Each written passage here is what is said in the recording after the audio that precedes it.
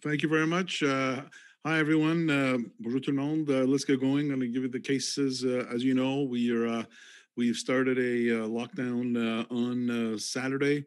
Um, the cases have persistently gone in the 3,000 range now across the province, um, with three or four days in a row. Today was 3,065 increase. Um, again, led by GTA. Ottawa had 165, and we had a fair number of cases uh, over the weekend. Uh, I think we added a record of 115 between the Friday and the Monday. And um, uh, I'm just going to show you uh, some of the other. Uh, where are we here? Here we go. So um, we're up to 400 cases, uh, active cases. Actually, the number went down because we uh, had some that were resolved. We're um, we're at over 3,500 uh, total cases. We've got 34 hospitalized, nine in the ICU, um, and uh, we're uh, we continue with outbreaks again. Uh, that includes school outbreaks and so on, and, and other and other workplace ones. Um, and one of the things that I just wanted to, sort of you know bring up to you was the change from yesterday was uh, 25 cases and every day we have we're adding cases 25 30 cases.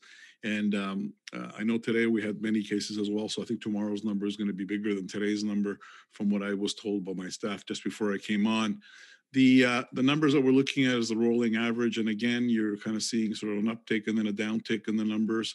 Uh, clearly, clearly above the red, clearly, clearly in the gray zone um, uh, area here uh, with our with our numbers, and so that is uh, something that we need to, to keep an eye on. And um, you know, I just wanted to uh, comment on just a few things first because I got a lot of questions about it. I know that um, you know the um, government uh, uh, put us into the lockdown, and there was a lot of um, expectations that there would be they would go further than that. And um, I, I, don't know if you've a lot of you because by the questions that you've asked, a couple of media have asked me questions about this and why.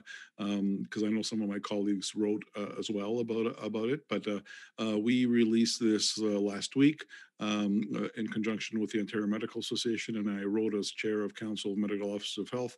And basically, um, uh, we said that um, we, we thought that shutdown, uh, because of the uh, uh, growing case numbers, disease severity, rising ICU admissions, and infection patterns among younger people due, due to the VOCs, um, uh, strongly believe that a stay-at-home order is required to success, successfully prevent cases and strain on the acute uh, care system as we continue to vaccinate more Ontarians.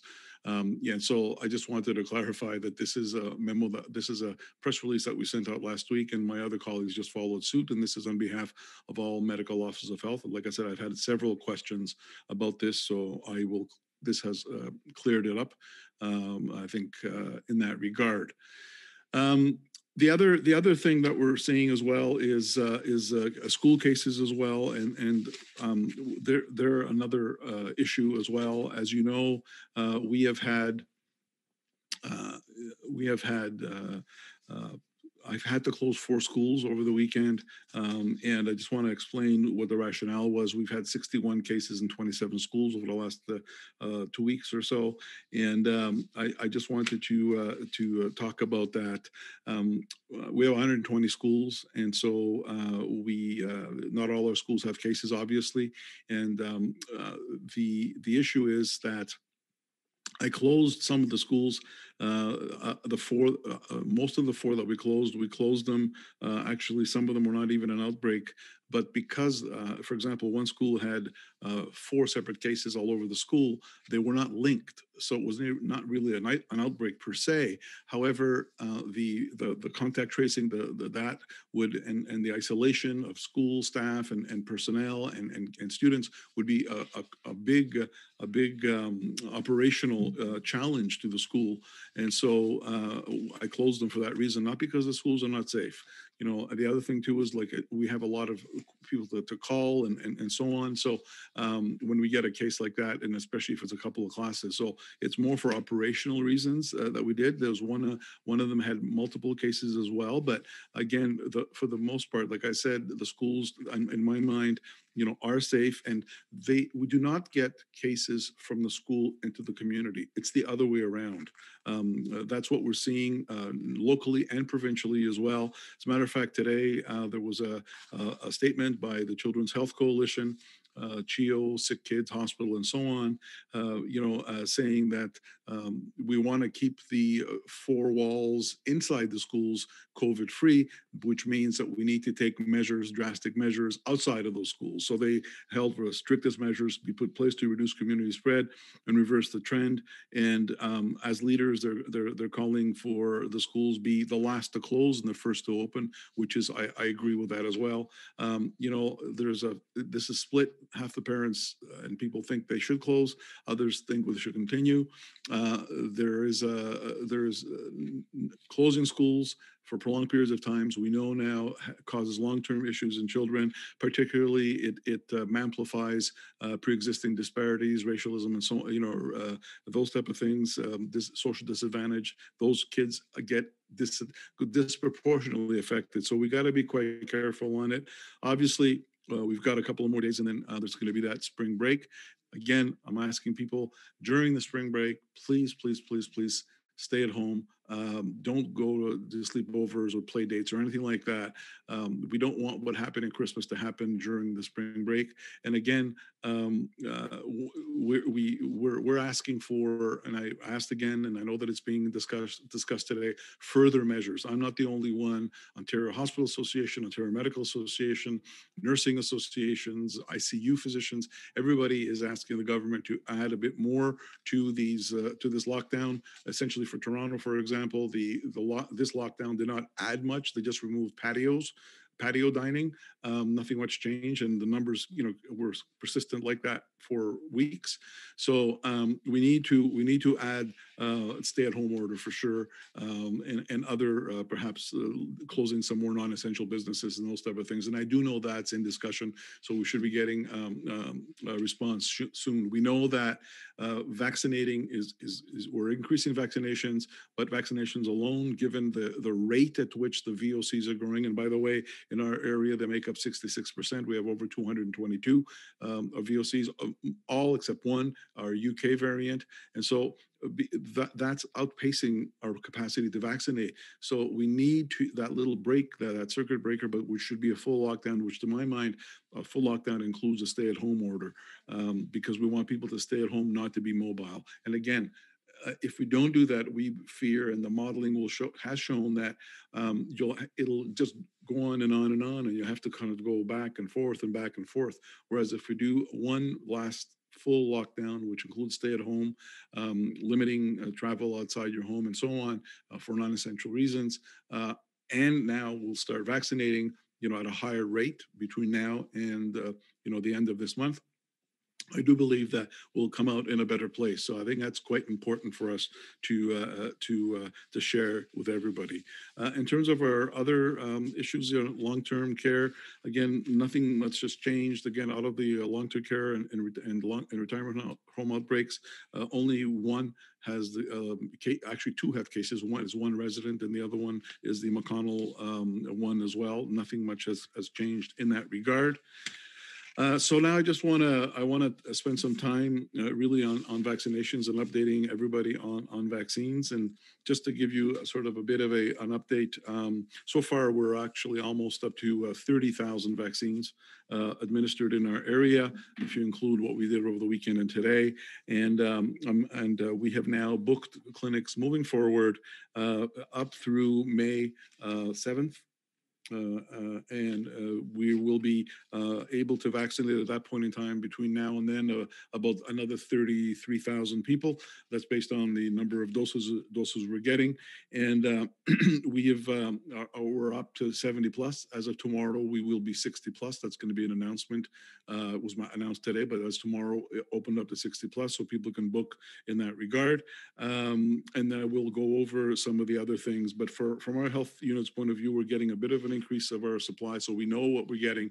So we're able to uh, have clinics. Uh, for example, uh, next week we'll have 12 clinics. And then um, each week after that, uh, for the following four weeks, we're going to have uh, eight clinics a week, each of which is going to be vaccinating over, uh, over um, a thousand people or so at least, and we'll be doing a couple of those a day. So um, I, I, do, and this is because we've tapered it around the numbers. We know that 60 plus and all that uh, you know, we know what our 60 plus population is. We know uh, what the what the 70 plus was. We've done the 80, and so um, we're now looking forward to to that. And again, uh, you, will there will be an announcement again, but uh, as of tomorrow morning, um, uh, people can book uh, through the provincial system for the health unit and um, 60 plus.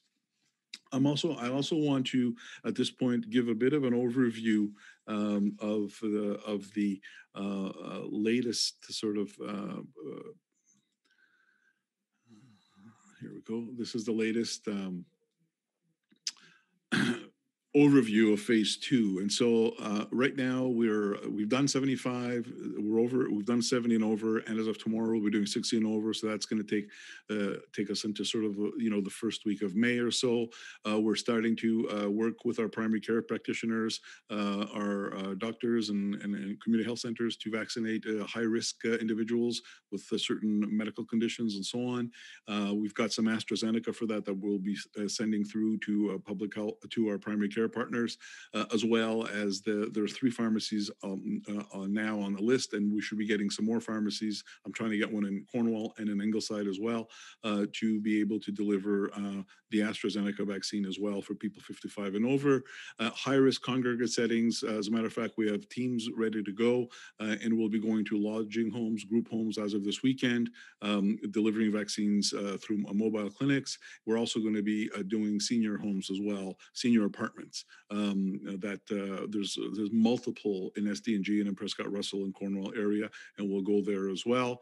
Uh, highest risk communities again, it says less in our area, but it's more for GTA in Toronto is a priority. And then we're talking about essential workers who cannot work from home. I'm hoping that that will be pushed a bit earlier uh, because that includes uh, poli- um, police that weren't vaccinated in the first phase, uh, teachers, daycare, and so and so on. So um, that's where we are based on the numbers. But for for our population, again, uh, 16 over may be able to vaccinate. Individuals who have high risk medical conditions can be vaccinated through physicians' offices um, uh, moving forward. Uh, but that's that's where we are right now, and um, um, based on our numbers, that's what we're projecting to be able to do uh, over the next uh, four weeks now into the first week of May. We should be getting our allocations probably in the next week or so uh, or projection of allocations may, moving May into the full month of May. Hopefully, they'll be higher. I do know that uh, Astra, uh, that um, Johnson and Johnson will be made available in Canada, likely in April, towards the end of April. So that that's uh, going to be an additional one, and I know that the numbers of vaccines are going to be substantial as well uh, moving forward. Donc, euh, bonjour tout le monde. Euh, je vais commencer avec, euh, avec les chiffres antérieurs. effectivement, nous voyons euh, nous voyons euh, euh, toujours une augmentation des cas importante à travers l'Ontario. La plupart des cas sont de variantes. en effet, ça fait quelques jours de fil qu'on a plus que 3 000 ajoutés par jour en Ontario. et, toujours Toronto, autour de Toronto, mène au niveau des cas quotidiens. Ottawa avait 165 et nous aussi, on commence à avoir des débits importants au niveau de nos cas, malheureusement. Au, niveau, au niveau des, euh, de, notre, de, notre situation ici, c'était triste cette fin de semaine. On a eu, on a eu pas mal je pense, on a eu 115 cas entre vendredi et lundi.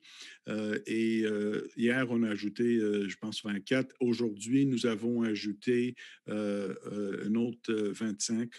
donc, on est rendu à 3566 cas avec 400 actifs. On a toujours 34 hospitalisés, donc 9 sont en soins intensifs. nous avons des flambées aux écoles euh, et quelques euh, places de commerce aussi. Et nous avons aussi des euh, maisons de retraite et des groupes, etc.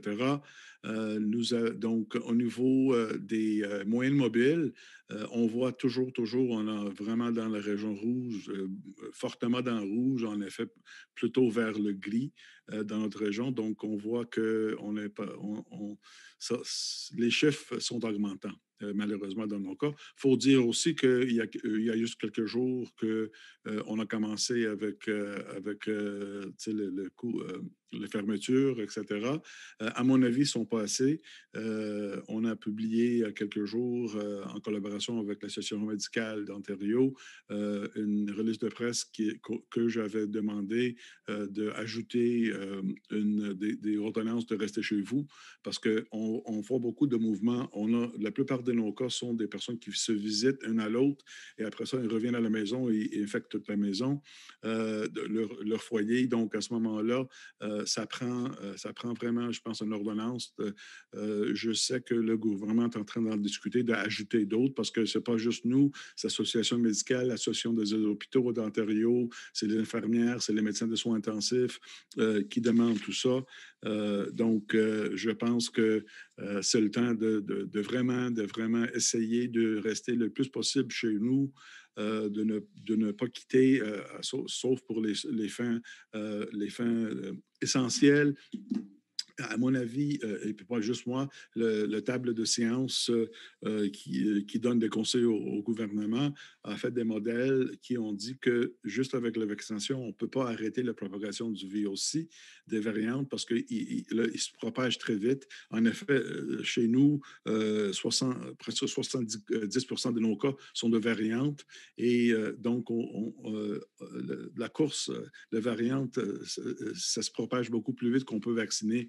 Donc, euh, ça prend les deux ensemble, de, continuer à vacciner les gens et d'avoir des, euh, des, précautions euh, strictes, plus strictes qu'on a actuellement, qui incluent une ordonnance de rester chez vous. Donc, avec les deux ensemble, moi, je pense qu'on pourrait faire, on peut avoir une différence en quatre semaines. mais si on n'ajoute pas des mesures plus strictes, à mon avis, ça va traîner plus que ça va traîner 4, 6, 8 semaines, beaucoup plus longtemps. On, va fermer, on va ouvrir, on va fermer, on va rouvrir. Ça va causer beaucoup plus de dommages à la long terme. Donc, une bonne quatre semaines avec toutes les précautions en place et une chance de vacciner, je pense qu'on va être, dans un mois, on va être dans une meilleure place sûrement pour qu'on puisse s'ouvrir et, et commence à, commencer à avoir un débit de vaccination importante, euh, une diminution euh, importante au niveau des cas. Et à ce moment-là, ça, va nous permettre de, réouvrir un peu.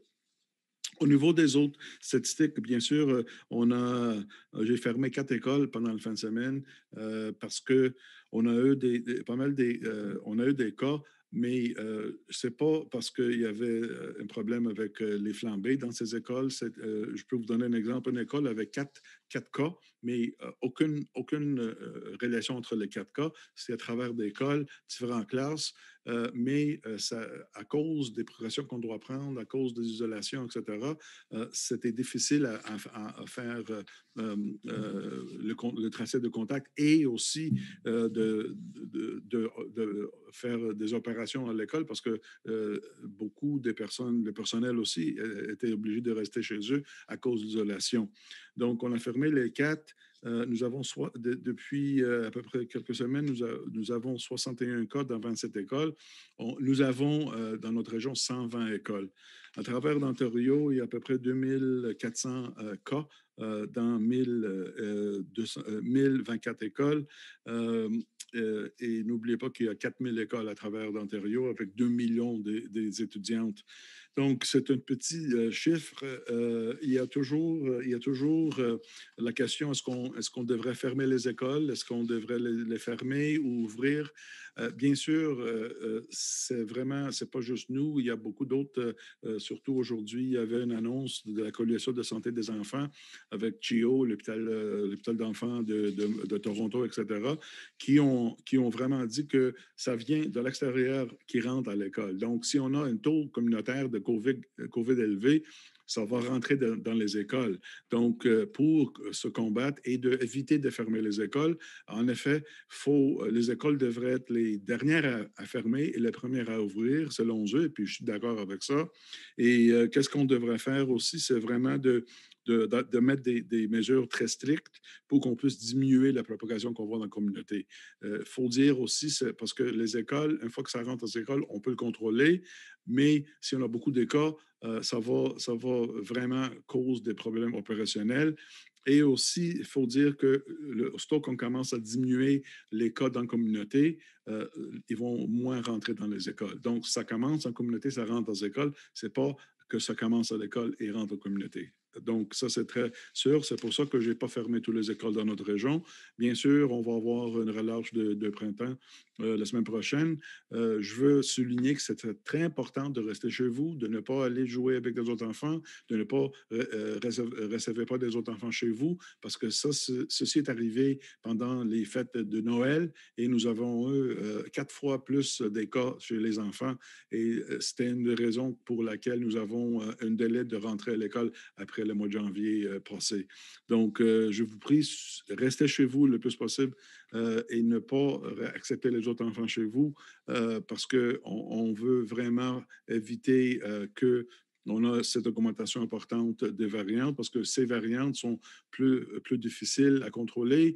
Euh, ils, rendent les, personnes plus malades. Euh, ils, rendent, il y a beaucoup, un taux d'admission à l'hôpital est plus élevé. Le taux aux admissions de soins intensifs est beaucoup plus élevé. Et qu'est-ce qu'on voit? On voit plutôt les, personnes euh, moins de 60 ans, plus en plus, qui rentrent aux soins intensifs parce qu'on commence à vacciner les personnes plus âgées. Au niveau, euh, au niveau des, euh, euh, des flambées, il n'y a pas beaucoup de qui a changé dans nos. toujours, on, a, on a quelques, on a quelques flambées, mais la plupart des flambées, il n'y a pas de résidents, c'est plutôt les, les, les, personnes qui travaillent, qui travaillent, les personnels. donc,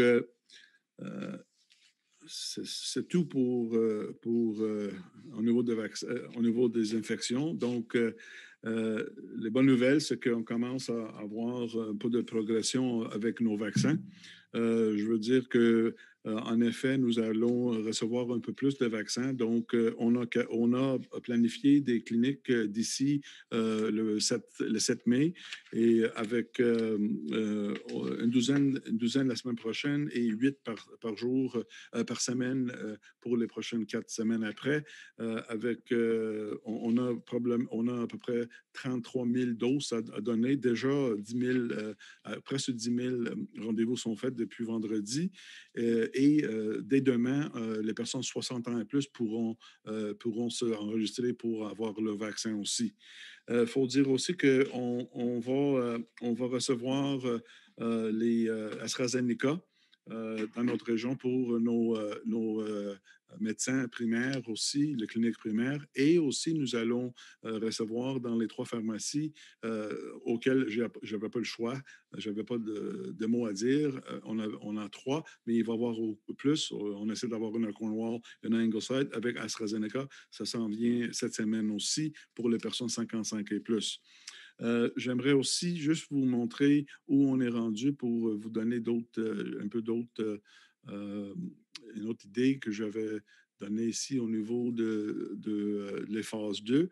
Euh, donc, euh, comme je dit, dès demain, on va être capable, vous pouvez prendre rendez-vous 60 ans et plus. On va avoir des personnes avec des maladies chroniques. On, va les commencer avec, euh, avec leurs médecins qui vont donner les vaccins. Euh, on, nous allons euh, visiter les, les autres maisons de groupe, etc., les appartements. On a beaucoup des aînés. nos, nos équipes mobiles vont le faire dès cette, cette fin de semaine.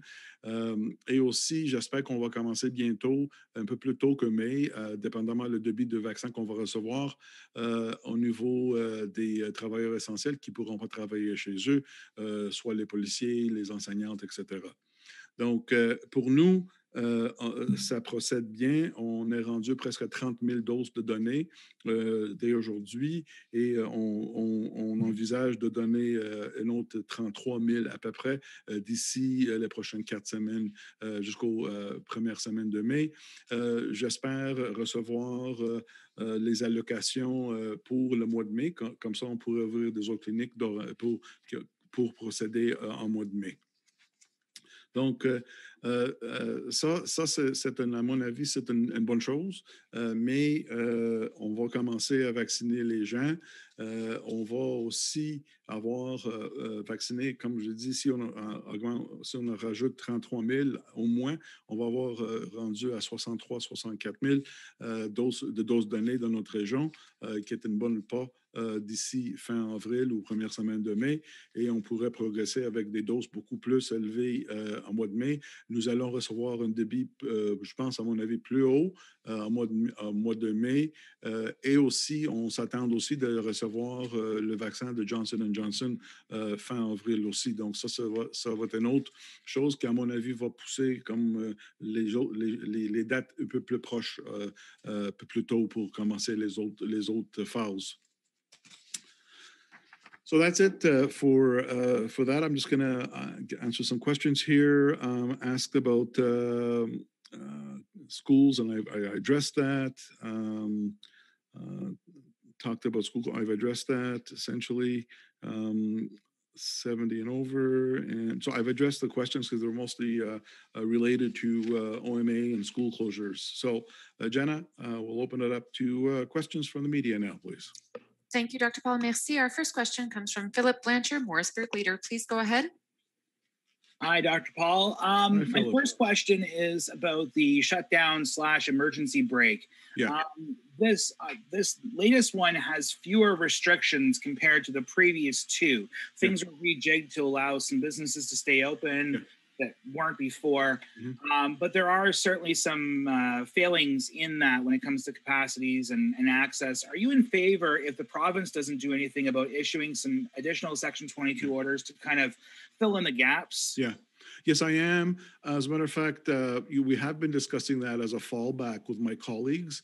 Um, you know, that I, if I would do that, I would like to do it on a regional basis, so we won't have inter-regional variability. And that's the reason that we're, as a Plan A, we'd like to have more stricter um, guidelines and restrictions, including stay-at-home, uh, provincially, so that will there won't be any inter-regional variability. Um, it's easier to impose when you declare an emergency. It's easier to uh, enforce and so on than a Section 22, but a Section 22 will be our fallback. But I do understand that there are serious discussions to add further restrictions uh, to the current lockdown provincially. Okay, thank you. And uh, next question. Um, you've taken more of an education first, enforcement second approach, the carrot rather than the stick. Um, but we're a year in. So are you as tolerant of the education part, or do you think people should know by now?